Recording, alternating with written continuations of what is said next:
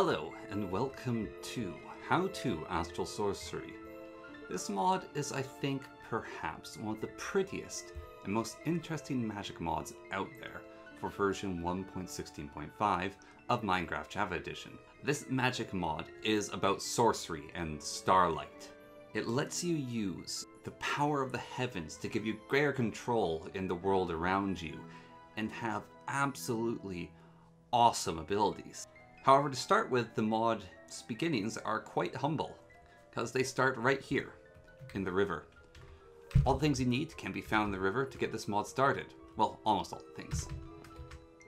The main thing you're looking for is this lovely little thing here called aquamarine. The other thing you're looking for is sugarcane to make paper with. With the sugarcane, you want to make a book, and you also want to make a bunch of paper. You then combine this paper with aquamarine. Four pages around one aquamarine center will give you four parchment. Then with this magical parchment, you want to put that over top of a book and surround the book in the other areas with three aquamarine, and this will give you the Astral Tome, the guidebook to the mod. Now my Astral Tome has a lot going on in it. However, your copy when just starting will look like this. Also, depending on how you have things set up, you might not even need to craft yourself Astral Tome, but I'd still recommend gathering up that aquamarine. Then from there, we follow through the book, covering every single section it contains. Next thing you want to do after creating the Astral Tome and gathering up some aquamarine shards is go find a mountainside, climb to the peak, and hopefully discover yourself one of these shrines. You want to collect most parts of these shrines around the outside. All the marble that is in it is highly valuable. Once you've gotten a decent amount, cut off the water supply at the top and knock a hole straight through the ceiling above there. Clear out any other remaining water that is spawning, just get it out of the way through whatever means you can. Then dig a hole straight down through the sea lantern. Don't damage this crystal here. However, you can take anything else within this place. I recommend looking around the corners for these chests. Inside some of them, you'll find constellation paper. It's very important to collect constellation paper, as it is quite useful for later on. Then you want to take a crafting table and place it directly underneath this crystal while the crystal has access to the sky with nothing above it. Just put it down and the power of the crystal will turn the crafting table into a luminous crafting table. This is the basic crafting table for the rest of the Astral Sorcery mod. Collect the crafting table up, collect whatever blocks remain within the temple, such as the marble, and leaving the crystal behind and making sure to mark it so you can come back later to use the crystal. Then it's time to dig down deep into the earth for your next bit. Going down to the very bowels, the bottom, and finding yourself rock crystal ore. Mine yourself at least one of these to get some lovely rock crystals, which will be very useful for the rest of the mod. However, finding these rock crystal ores underground will be quite a rare occurrence and you have to get lucky. However, there is a better way to go about finding these rock ore crystals, and that is using the Resonance Wand. This is a very important item for Astral Sorcery, perhaps one of the most important, not only in that it assists you in finding the rock crystal ore, but also in it lets you utilize and craft and interact with most things within the mod. Fairly simple to make this wand. Marble, aquamarine, and ender pearl. Throw that all together and you get the resonating wand. Now during the day it's not all that special. However, at night it will show you the resonant discord of starlight and these little sparkles. Now, what these are is starlight bleeding from the ores up into the aether, that's the modulation. What it means for us and our purposes is if we dig down to the earth here, we will soon see these sparkles underground from the spot above where there was the little motes coming out of the ground. We shall reach this sparkly light area underground, and if we go to an area where without lava, where it's safe to dig, and dig down into this sparkly little area, we'll find rock crystals. So, a task that may seem difficult at first becomes relatively straightforward with one simple tool. Then, on the mountainside that you've climbed, place down your luminous crafting table. At the current point, any spot will do as long as it's high up on a mountain so has access to the sky and just make sure not to cover it with any blocks overhead. Then open up your Astral Sorcery Tome and click on Constellations, then click back again on Research. And you'll find a whole new section called Exploration. And once we go into Exploration, we'll see a whole bunch of new things for us to explore and look at. However, most of these new things will require the Luminous crafting table to make. Now, this table works a little bit differently than a normal crafting table, and the Astral Tome will tell you as much in the Discovery section when you click on the Luminous crafting table. In fact, the Astral Tome has all of the mod's information in it, so it's worthwhile reading because it will go into slightly more detail than I do. So with this table, it runs off starlight to craft things and put them together. This means it only works at night and it has to be higher up for the starlight to actually reach it. So you can't have it low on the ground or in a valley. So even if you happen to have all the ingredients required for a recipe, if you do not have enough starlight inside the table, then it will not craft the thing. So with that said, let's get into how to craft stuff with this table. So to start with, we are going to make the glass lens. This requires a glass panel and some aquamarine. We go over to the luminous crafting table, put the glass panel in the center, aquamarine surrounds it, and it'll say this will be crafted. However, it's not going to craft it for us immediately. We need to take the resonating wand and then tap the side of the table. Then it will use up the available starlight inside it to give us the item we wish to craft. We'll do that again with a slightly more complicated recipe, making the looking glass a very important item which requires sticks, gold, wood, and the lens that we just made. So now with all the sticks in there, we need wood at the bottom, gold after that, and then glass here, and it will show us the looking glass. We tap the luminous craft table again, and it will start making the item for us. Brilliant, beautiful pillar of light will shine down, and now we get the looking glass. Now the looking glass allows you to find constellations in the night sky. I have already unlocked a lot of constellations, however, for you it should look a little bit like this. A sky filled with stars, but devoid of constellations. Now, the only constellations that you can actually find with the Looking Glass are constellations that you've discovered in the constellation paper. This one here shows us Discidia. The phases of the moon shown below are at which times the constellation is actually bright enough to see in the night sky. Our astral tome will also show us constellations and show us which ones we have unlocked with our papers. Right now we only have Discidia and we have no information on it until we discover it. Now bringing the moon to a phase where we'll actually be able to find this constellation, we then look through the looking glass, slowly rotate around until we find a set of stars that are slightly bigger and shimmering, moving in of existence than the rest of the stars in the night sky. Then, using the constellation that seems to match that star, if we happen to have the right paper for it, we attempt to trace it. To do this, we hold down Shift, then right click on the star and drag out a line to complete the correct tracery based on our memory and what is shown on the constellation paper. I believe this one is traced like this. Once you do it correctly, it will fill in the lines in blue, and now you can clearly see the star in the sky whenever it's out there. See, over there we can now see it.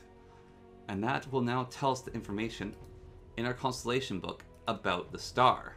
Arma is of defense. A repulsing force comes from the light of the constellation, similar to a shield or protective barrier. And the more papers of constellation that you find, the more of these stars you can discover in the sky by looking through your looking glass and tracing them. Now that we've strained our necks by looking at the night sky for a bit, there's a few other things that we should get around to making, which are all pretty nifty within this mod. One of them is illumination powder. This is a crafting recipe, but also a useful item in and of itself, made in Luna's crafting table, like everything else I showed you. And it has its counterpart, which is nocturnal powder, which is a sort of darker version of it. Now, the Luminous crafting powder is this absolutely gorgeous little thing where you throw out the powder and it flies out a sparkly little line and then it creates a torch at the location. So if you're going spelunking and you want to drop a torch down into the darkness, you throw down some powder and it'll light the way. Now as counterpart, the nocturnal powder, when thrown, leaves a trail of darkness and then creates a massive cloud of darkness, which will cause monsters to rapidly spawn in the area and then spread out from it. Multiple clouds can be in an area at once, although they will cause each other to dim out, so you want to have them spread out. And if you cloud an area too many times, then it'll just cease to bring monsters in. The upgrade, so to say, of the illumination powder is the cave illuminator. This is made using the illumination powder and it creates this interesting looking cuboid. And when you place this cube within a cave, it not only gives off its own small amount of light, but also slowly fill the caves full of lights from illumination powder, mapping out the paths of the tunnel without you yourself having to place the lights, and slowly bring light to the darkness of the interior of the caves. It is best to put one down and then walk away and wait for it to process to fill the cave full of its lights, as the process can take quite a long time if not placed correctly, which is a little bit more advanced than we are at at the moment. The next thing to create is a light well. This is a device used to make liquid starlight a useful resource and is created using the Luminous Crafter. To use the light well is a pretty simple process in gathering starlight, a very important resource for the mod. All you have to do is put the light well on a high point, then put an aquamarine gem inside it, and it'll start gathering light well and slowly burn away the aquamarine until it has filled up the light well to a pretty sufficient point. And once the one aquamarine is gone, you can empty the light well and put more aquamarines in it with simple right clicks. The liquid starlight forming in the light wells can then be collected with a bucket and placed into the world.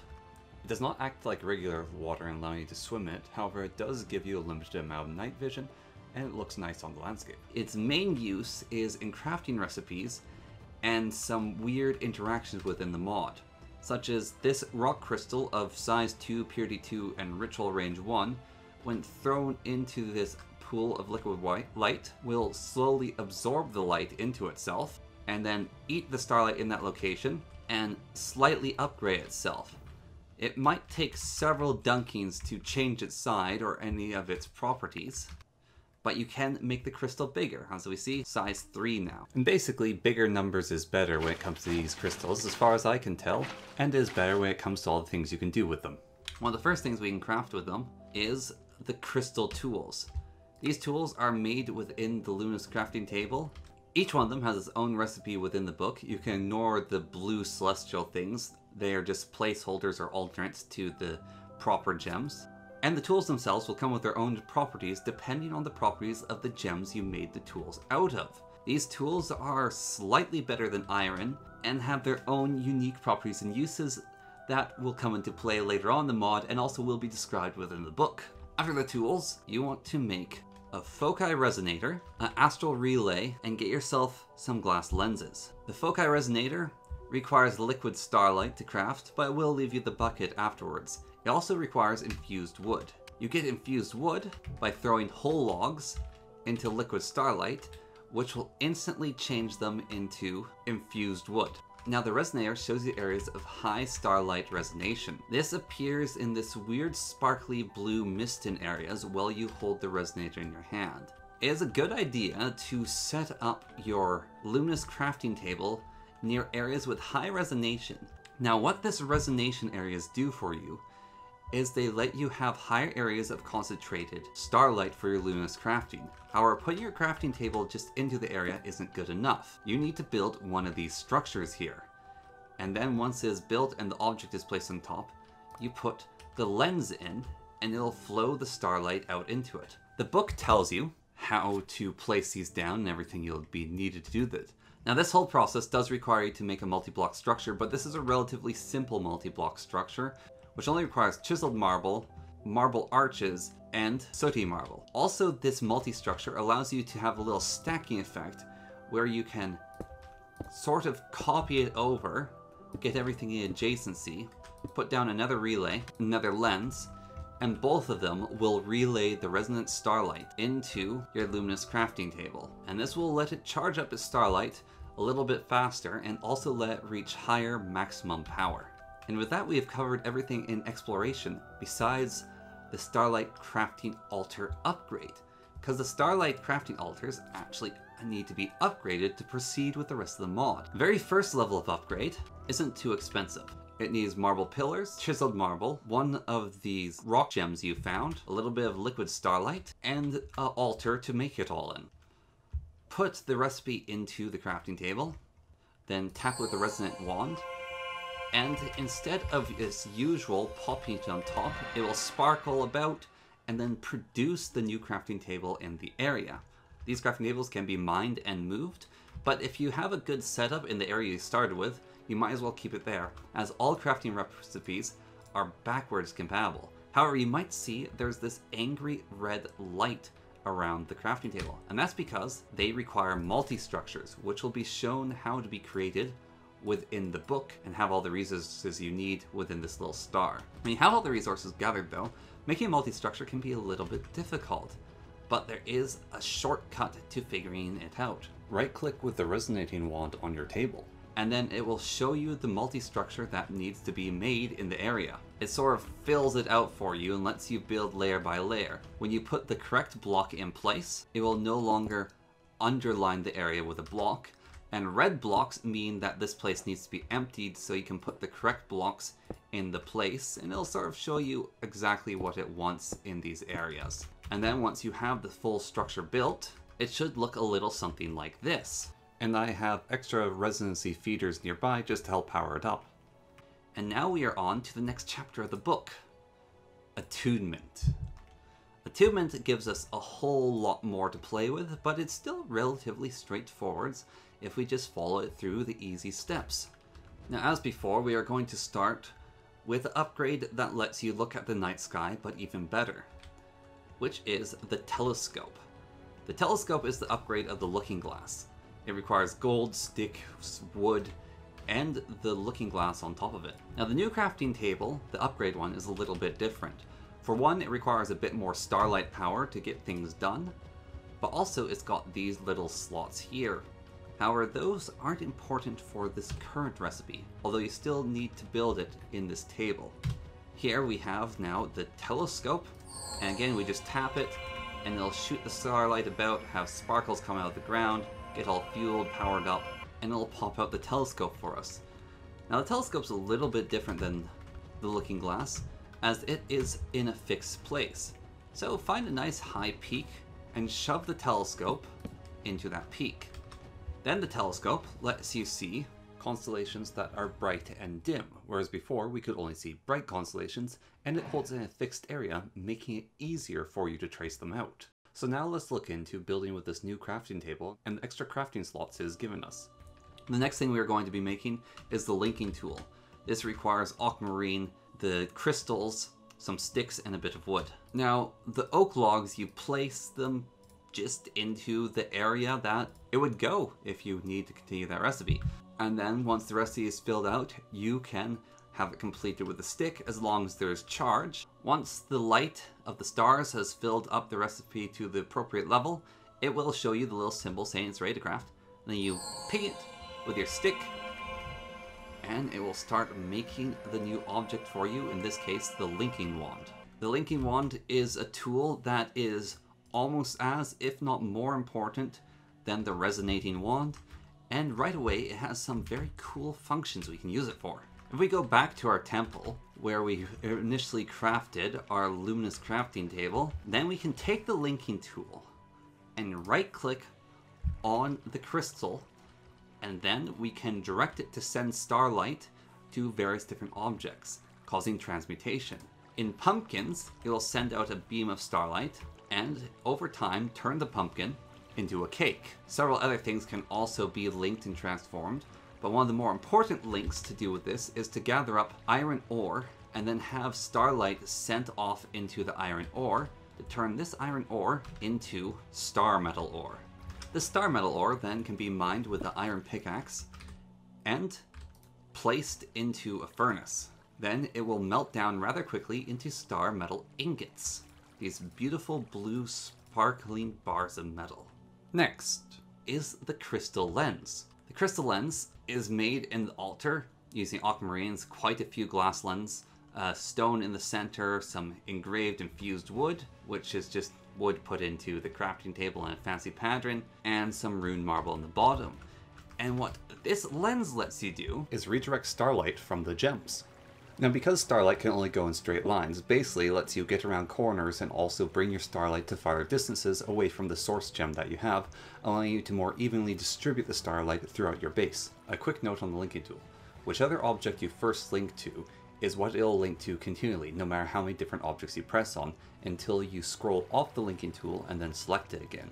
So if in a multi-process case of this, of linking the gem to the lens, and then linking the lens to a piece of cake, you're going to have to deselect the gem first by scrolling off, then you can go and select the lens to then direct it to its new linking location. Lenses can be put on walls and can be linked to one another. So you have many options in where to distribute your starlight and can utilize it much farther than you much otherwise would be able to without the lenses. Now let's take our starlight metal ingot and make our very first item with it, which is the starlight metal cutting tool crafted in the Starlight crafting altar. Then we have to get ourselves a little bit more of Starlight ingots. We can throw those onto the ground, and using the Starlight cutting tool, we shift right click on the ingots, and this will turn it into stardust for us. With the stardust, we can then craft the Celestial Gateway. When fully put together from the recipe, which can be pretty easily found within the book under the Celestial Gateway, you put a Celestial Gateway down onto the ground and right click it with a resonating wand and it'll show you the area of which you need to build this multi-block structure. Further instructions are within the book of how to set it up. Once you have the multi-block fully set up, you walk into the center and it'll create this star field for you. This star field will be useless unless you happen to have a second one set up. And once the second one has been set up, you can look at these yellow stars within the field of white sparkling stars. Hold down, left click, and it will warp you to that location. The travel is completely free and doesn't even require it to be nighttime to go through. A very useful quick travel means if you happen to not have the Waystone from the Waystone mod.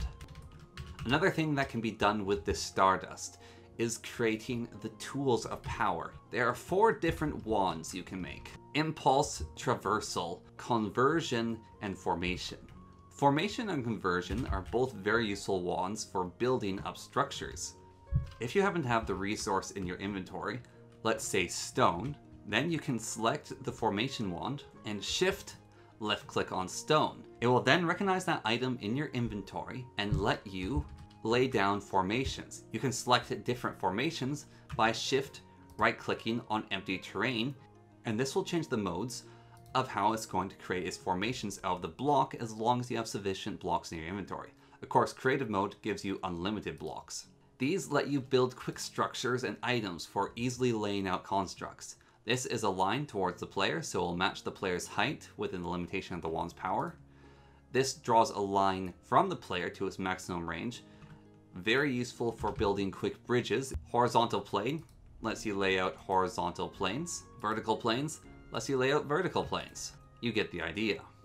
The conversion wand is some of the same concept. Shift right click on the block that you want to convert things into, then choose the mode that you want. It has several different modes, which can be scrolled through by looking at the sky. They are different sizes, 7x7, 5x5, 9x9, 11x11, and it will convert all the blocks in that area into a new block type. Now you can actually have more than one block going at once. And what this will do is it'll attempt to mix and match them in a pattern of those blocks in replacement. If you want to clear any of the blocks selected, left click on the sky. The two other ones, Impulse and Traversal, don't do building, but rather let you move through the world. Traversal has two modes. One is dash mode, which will use up this little starlight meter that you have, and then it will fling you in the direction that is illuminated outwards to about the maximum of that momentum's lead. The other mode is blink mode. When held down, will draw out a line and then blink you to that location. doing its best with a limited distance, but still far more controlled than hurtling an ender pearl. Impulse Wand sends out this goopy little starlight tentacle, and then it drags you to the location as best as it can until a certain amount of time wears out. You can also attach this wand to creatures and it'll drag you after them for a short while. You can also use the Traverser's wand with the Elytra, which gives you virtually unlimited flight. Why don't we get to Attunement, the name of this chapter?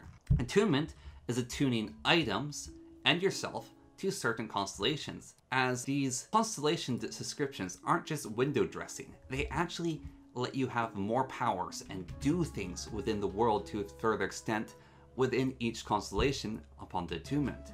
To start attunement, you'll need to make the attunement altar.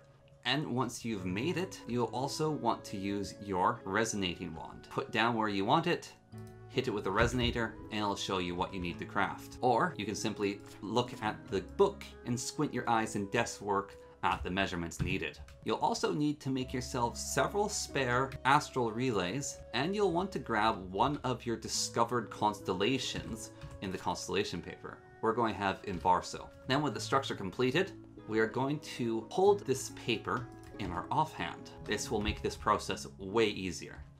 Then you look for all the areas with the little sparkles in the black sooty marble.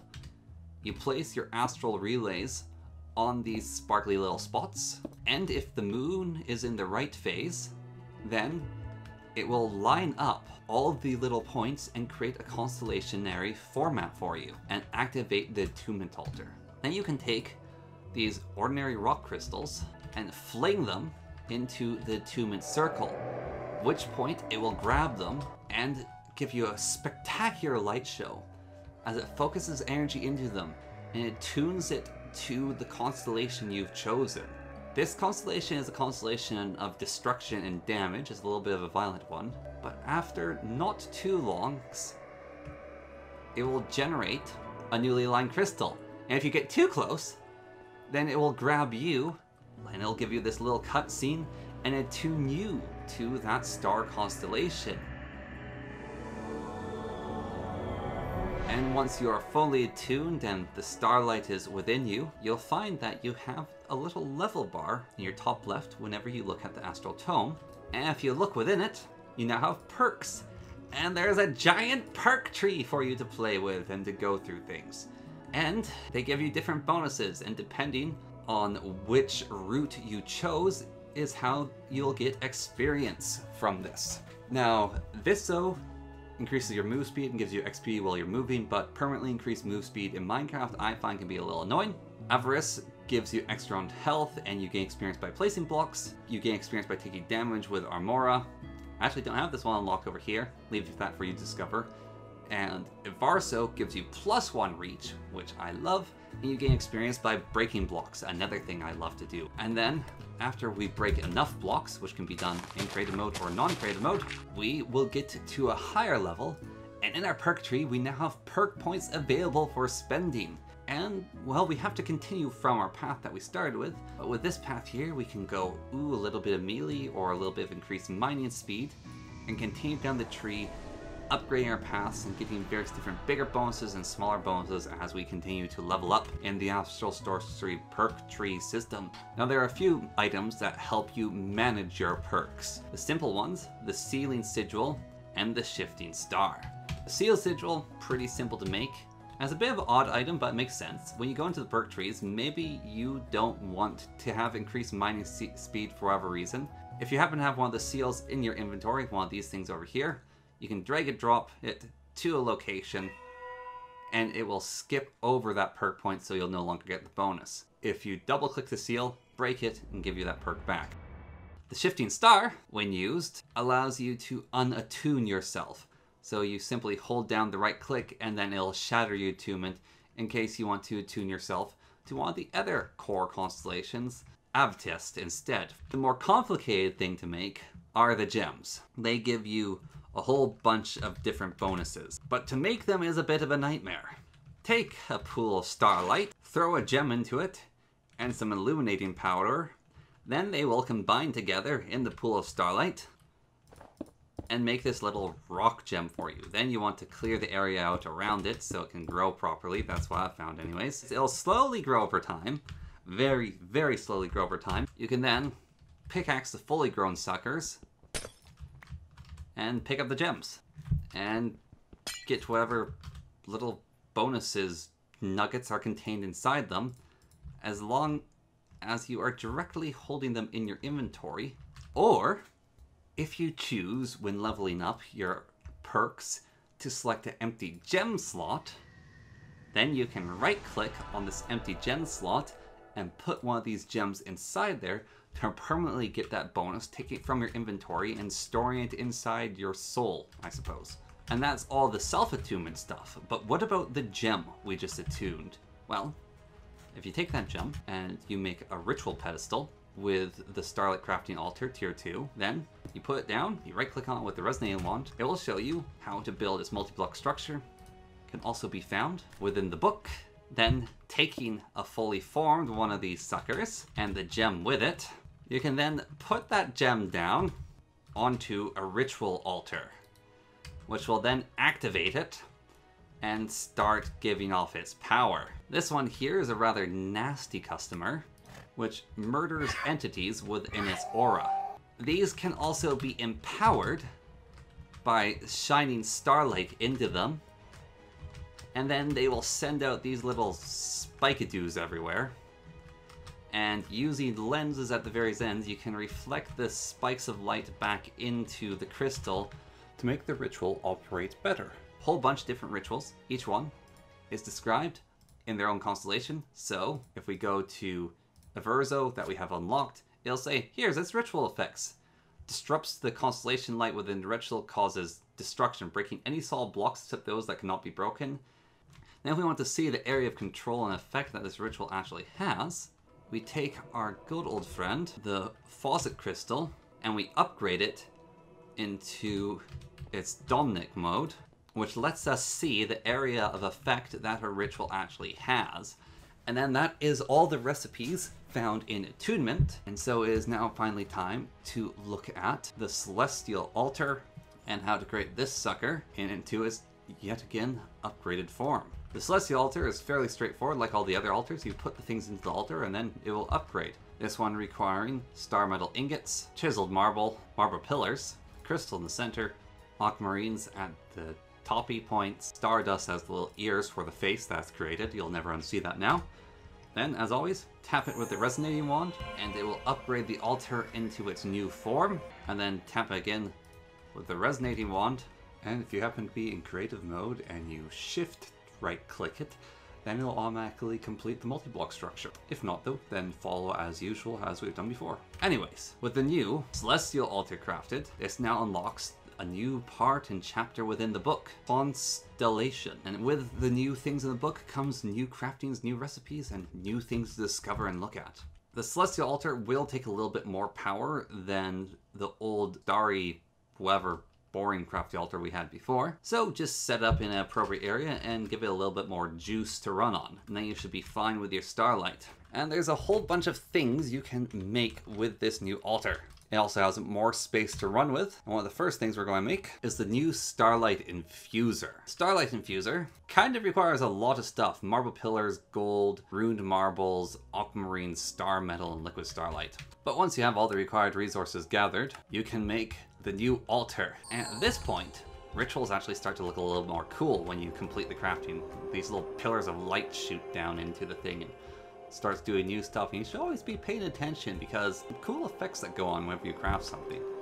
Anyways, this will make the new altar for you to work with. And like many things, the Starlight Infuser is a multi-block structure. And as always, use the Resonating Wand and it'll tell you how to complete it. This one, you actually have to start a little bit lower down and you're going to need a lot of liquid starlight gathered, as you need to surround the sucker with the liquid starlight. Then, there's some fairly basic uses for the Starlight Infuser, which allow you to create more powerful tools and a new crafting item. Aquamarine, take this beautiful little boy, stick it in there with your resonating wand, and it will slurp up the liquid starlight into the aquamarine and create the new resonating gem, which is all sparkly and flickering with light. Another use for the Starlight Infuser is infusing the various different tools that you've made. One of the most useful tools to infuse, especially if you're trying to level in the direction that we are, is the Crystal Pickaxe. So you take the Crystal Pickaxe, like the gem you put inside, tap it with the wand, drink all the Starlight, but give you an infused Crystal Pickaxe and this increases its mining size. Now, all the crystal tools, infused form gives them a slightly different bonus.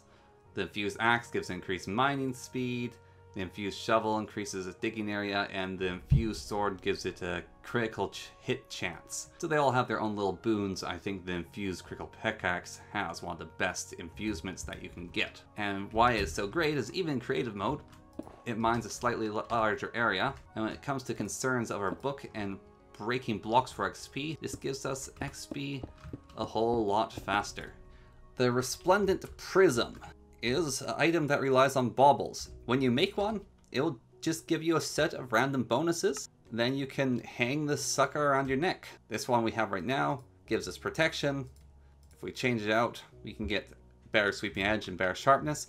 And if you want to have a different resonating prismarine, you don't need to make a whole new one. Instead, you can just run the ritual again with slightly different ingredients within the whole mix match and reset your resplendent prism to a different form to give you different bonuses. Next is the tree beacon. The tree beacon is a rather cool object. What you do with it is you place it down, and then you can pump starlight into it if you want to. You don't have to, and it creates this little green aura around it. Then you plant saplings nearby, and when the trees fully grow, instead of becoming normal trees, they grow into these weird green, ghostly, transparent trees. Then the beacon will give you wood from the trees instead of you having to harvest them. And so it'll actually get you a passive wood farm, which in the end will produce more wood than you would get out of cutting down the trees. The illumination wand is the upgrade to the illumination powder and actually requires the shifting star from earlier and illumination power to make.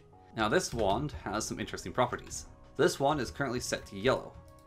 So, if we shift click, we can turn a block into a illuminated block and sort of light up the area.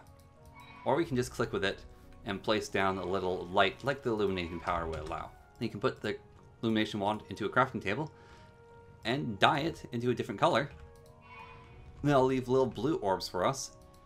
And we can turn blocks into their different color counterpart instead, and we can re-dye this wand as many times as we like. Let's look at the Ritual Anchor. Ritual Anchor requires glass, lenses, a bunch of other things, and in the book it tells you how to work with this object. You may have seen I had one earlier, but I got rid of it. Now, it needs to be four above, four above the Ritual Stone. And once you get it at the correct height, you can then select another ritual anchor, because it will make two. Put that one down in the world. Then using your linking tools, you can select one ritual anchor, connect it to the other ritual anchor. This will link the rituals, cause these lenses to shoot up these cool beams of light that let you know you've done it correctly. And then where the anchor is being put, the ritual will also occur. So this ritual of death, we now put a cow down in this area, they'll start to murderize the cow over here. Crystals. So until now, we've had to be dealing at the whims of the gods to hopefully they put the collecting crystals in the right area. But forsooth, it does not need to be so, for we can take a tuned rock crystal, and by putting it into the table, we can create our own collector crystal, quite easily actually. And then we can put these collector crystals wherever we want, and we can use their starlight instead. So you should get some of those because then you no longer have to worry about the placement of them as much. Then after that comes the dreadful stellar refraction table, which is a rainbow nightmare. This is the crafting recipe, infused columns, pretty simple to make. And this thing here also requires an extra little block to be made with it. Well, several actually. So you take this infusion glass, and you slap it onto this thing. Okay, we've got the infusion glass. Then you take a piece of parchment paper and you stick it inside the thing. Now it's activated, it's ready to run. Making sure it's nighttime, and you see all the different things you know how to make. Now you can drag these into the piece of parchment and put them down. And then once you have three of them in there, it'll create a plate for you. You can take the piece of paper out, it's all lined up, it's all ready to go. You can take a tool, you can stick that tool in there, tap it with your resonating wand, or not, it just starts happening. Anyways, laser will start to shoot your tool, and then they'll enchant it using the properties of the sheet you gave it. So this one has mending efficiency, scorching heat, and increased mining speed. And then we can take it out and operate with this new pick and it'll enchant all the items. And I believe the enchantments shall stay consistent, though this is a way to get guaranteed enchantments once you figured out the right patterns and combinations to work with. Also underneath the constellations information in the book, it tells you the effects that the refraction table will have on the items for their specific constellations. The next thing for us to make in this how-to is the crystal prism. The crystal prism is made rather expensively, but unlike the crystal lens that when reflecting lights from one of these crystals, it can only blink one target. So we can only send it to a certain point. However, that is not so with the crystal prism. When we link this bad boy up, it can link to multiple locations with its starlight. Instead of just having the one, it can go to as many locations as you like, although it does disperse the starlight making it slightly weaker. And continuing with the theme of lenses, there is also a new kind of lens to be made. They're all contained within Constellation as the colored lenses. They all have their own uses, it tells you what each lens does, and these are really cool. So each has their own effect that you can read up on. And what you do is you make the lens, then you get yourself a crystal lens or a prism lens, and then you take one of these colored lenses, and then you can put them onto these lenses, switch and match them as you like, in case you don't like the color. And when starlight is shone through them, each has its own effect. So this blue one is a repulsor, so it pushes things away. So you can make an elevator out of it. So there we go. I have an elevator, or I can get pushed this way pretty forcefully. And the yellow light is braking, so using the linking tool, I can basically say, bore me a tunnel this way, and then it's going to go, all right, boss, it's going to start shining a light. It's going to break all the blocks in between until it's broken through and broken that block. Although we are using up quite a bit of its energy, so it's having difficulties doing the breaking. And so you can get a whole bunch of different things going on and set them up with all your different lenses, which I think is very cool. And for the final part of this chapter, crystal clusters.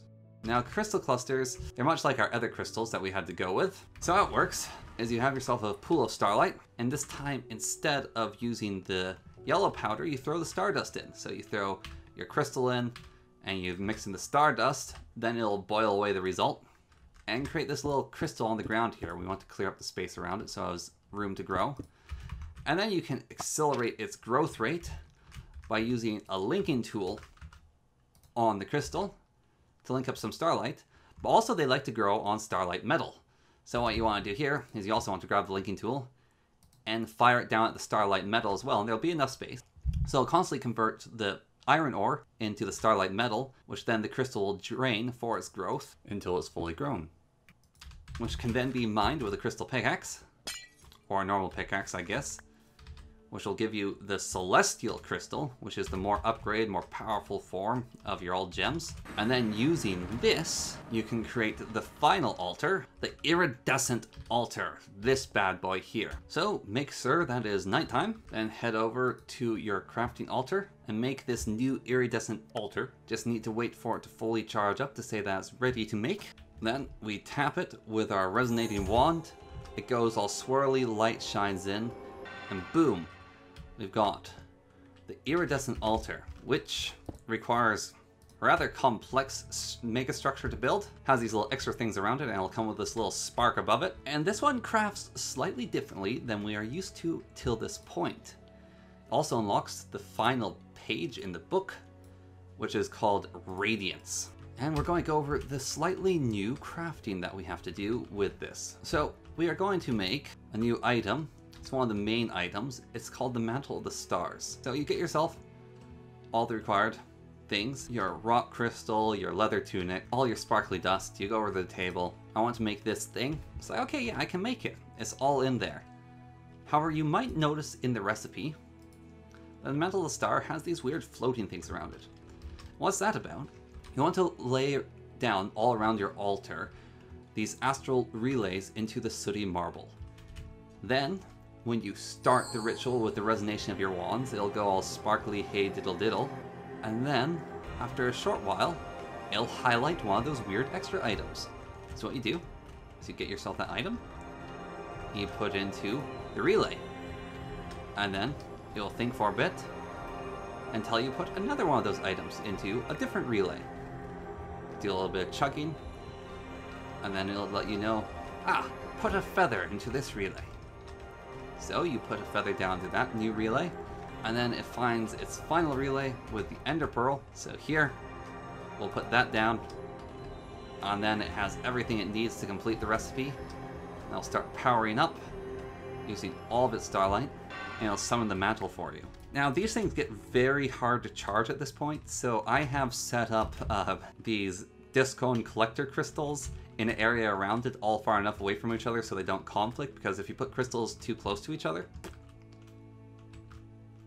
they get angry and shoot lightning at each other, and it weakens both of them. So you have to have a good distance, but then I just use the linking tool, fire starlight directly into the iridescent altar to help power it up, so I can make the more advanced items like the mantle.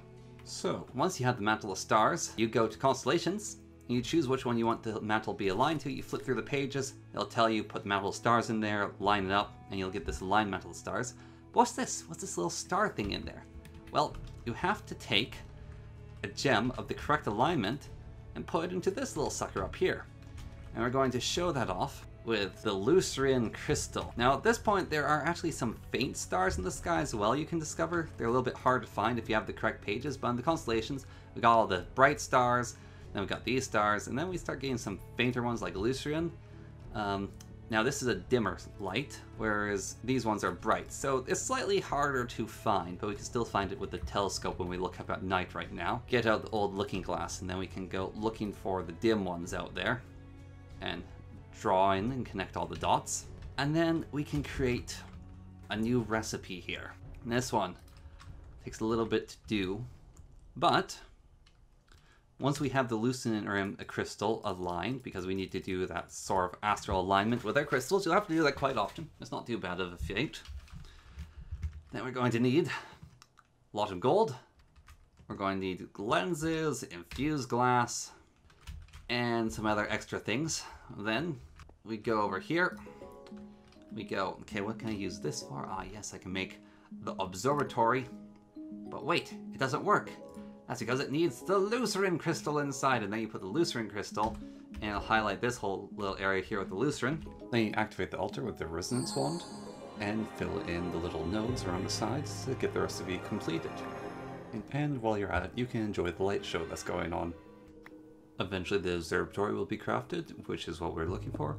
And you have to put this down in a free area of which it, nothing is above it, obstructing its view of the night sky. Like this observatory. And now it lets us see all the stars, any that we discovered, but not just the bright or the dim, for we have discovered faint stars out there to find within the scrolls, and this really helps you just find all the stars. It is absolutely brilliant for star watching.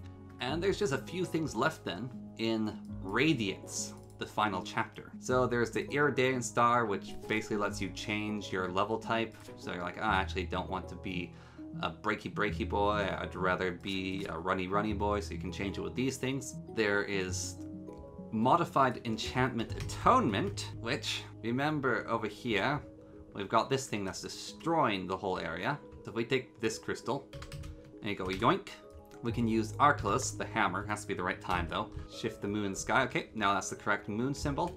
Take this, and we go. That there, that there, that there, that there, that one's already there, get that one there, that one there. That lines up this hammer. Then if we take an already aligned inversal crystal that we happen to have, and we get that one aligned, it will now corrupt the gem. We get this Inverso crystal, which has been modified to have a new enhanced form. And then when we put it into the spot where we had our ritual going on, it's now a corrupted inverted form, which are talked about in constellations. You can do a ritual, and then there's the corrupted ritual, And this corrupted ritual will fill the whole area around the Inverto, which used to decay things, and fill it up with stone now. And so instead of destroying the world, it uh, builds a new one, and you can start build platforms with the extended ritual here. But finally, there's only a few things left. First, we have the containment chalice is one of these things here. One of the main things you do with them is they can just contain a whole lot of liquid. So if you happen to have yourself pools of starlight, you put the containment chalice nearby, and the pools will start firing to the containment chalice. And then you can take a bucket and you can scoop out the containment chalice. You can also directly put resources into the containment chalice, and I think it holds 64 units, so you can fill it as a reservoir, and you can put pipes into it and the like. And if there's no redstone signal around it, and you have two of different types, they'll actually create blocks. So this stuff is really cold, this stuff is water, so they fire together, they create ice.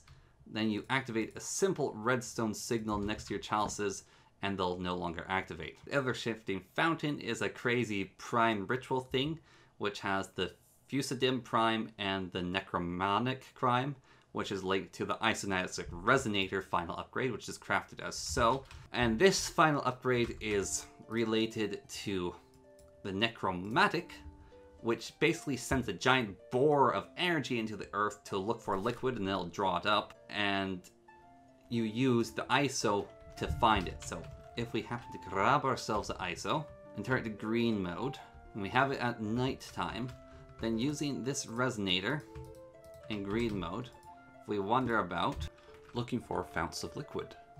There we go. See, there's lava. So this is liquid that's leaked through the world and is trapped beneath the bedrock. However, using the necromantic bore, we can recover said liquid. Now, you don't actually need to use the bore for the liquid recovery because you can use it for something pretty cool here, which is once you have the necromantic prime and you set up this multi-block structure with the ever-shifting fountain and setting up by looking through this thing, then you put a containment chalice on top, put the necromantic prime on the bottom, you fill the chalice with liquid starlight, and it shall activate the primer using the starlight as its power source. And once it's ready to go, it'll shoot a laser straight down into the earth and annihilate a bore down to bedrock directly to that liquid fountain if it happens to be down there and then can get sucked up into the whole system. If not, you just get a massive hole and you basically shoot a sky laser into the depths of the ground, which just looks freaking epic. Now the fuchsia primer, basically the other kind of primer, fossilizic primer, I don't know, fossilizing prime. I like using fancy words that don't mean anything. You put that down and you power it, and then it creates an aura around the whole area which freezes mobs in place. So, zombie. It's going to suck the zombie into it and contain the zombie in place. So all creatures in the area are going to get sucked up and contained near the primer. But even epic creatures, such as Ender Dragon, are contained by this. So if you want to have yourself a pet Ender Dragon trapped, you can trap it with this, although it burns through power. The more creatures, the more powerful creature trapped inside it. But you can, in fact, grab yourself a Ender Dragon with this prime. Basically a giant creature prison. So yeah, that is how to Astral Sorcery. So, thank you very much for joining me in this mod guide to Astral Sorcery. I hope you found it useful. Uh, we got another thing coming in the future, hopefully, depending on my studying and schedule time, of Beyond the Veil, which should be QL. As it stands, that's it for the Astral Sorcery. I hope this how-to was useful to you. I generally do. And let me know if, you think of any other ideas or suggestions for how-tos to make, and I might get to them eventually. We'll see. But as it stands, I'm going to leave it there. Until next time, goodbye.